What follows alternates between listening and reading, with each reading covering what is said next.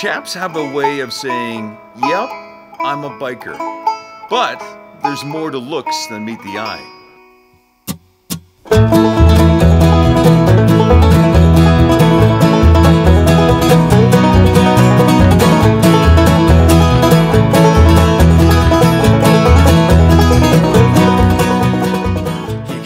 Trevor from Too Cool Motorcycle School. You teach a lot of students, 26,000 the last yeah. time I heard.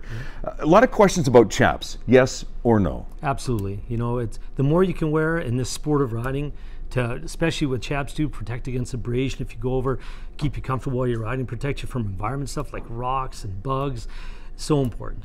Looks are part of it too, and I mean it has a certain look to it. I know that back in what was the early 1800s, that's where they came up with chaps. 1870, California, wow. Texas. I don't want to go through the thorny bush anymore. Now we're riding multiple horses. Yeah. Uh, on and we don't want to go through any no, thorny bushes. Not intentionally. Yeah, not intentionally, not intentionally. right. Uh, there's also some products that you can use as well too. There's a paste, there's lotions, things to maintain these and in, maintain the integrity of the chaps. Well, it's the skin, not only for the leather, but for the other fabrics you can put on there to spray to waterproof, to condition it. Just like your skin looking so sure. nice, you got to keep it looking nice, right? it's about for, the longevity. Thanks for the skin comment. I appreciate problem, that.